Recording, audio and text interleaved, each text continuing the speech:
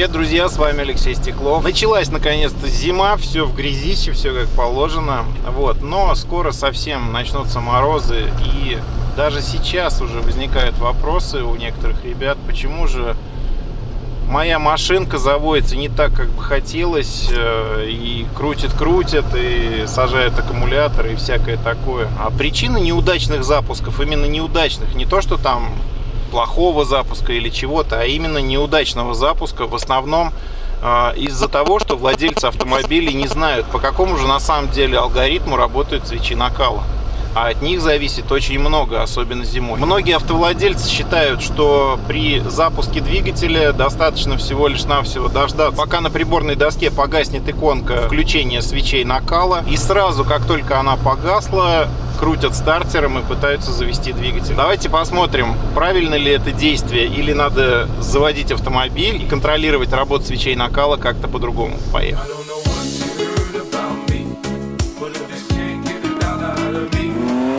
я подключился непосредственно к шине свечей накала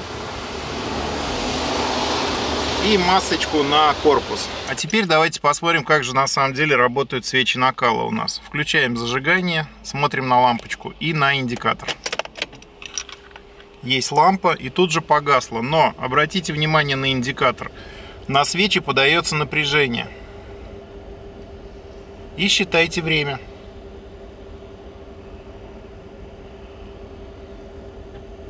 Все, вот теперь можно заводить двигатель. И обратите внимание, продолжается нагрев свечей после пуска.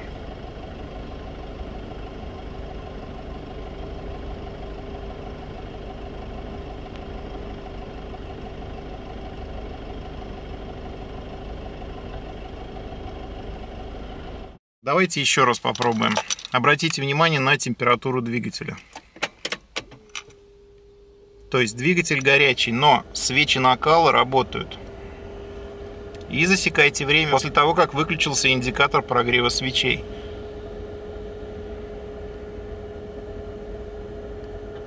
Вот, от, было отключено питание подогрева свечей. Вот только сейчас можно заводить двигатель.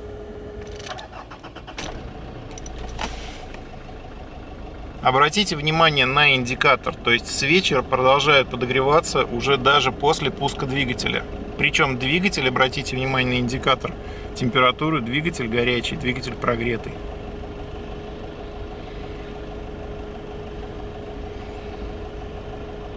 Итак, друзья, мы научились с вами заводить дизельный двигатель зимой правильно. Теперь вы знаете, сколько на самом деле надо подождать, прежде чем крутить стартер. И очень надеюсь, что это видео поможет вам в холодные зимы. Но все, что с вами рассмотрели, касается только лишь до рестайловых Pathfinder и до рестайловых двигателей UD25. А в следующем видео мы разберем, как запускается и как на самом деле работают свечи накала на рестайловых Pathfinder. Подписывайтесь на канал, ставьте лайки и не болейте. Пока.